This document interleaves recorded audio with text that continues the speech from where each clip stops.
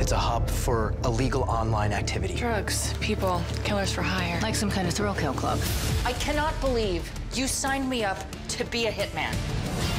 The penalty for reneging on your contract is death. No. Wait, wait, wait, wait. Chris is my priority, not you, not the NSA. We can't be together. Cameron, this this isn't a life. Stitchers, all new Monday at 9 on Freeform and catch up anytime on demand.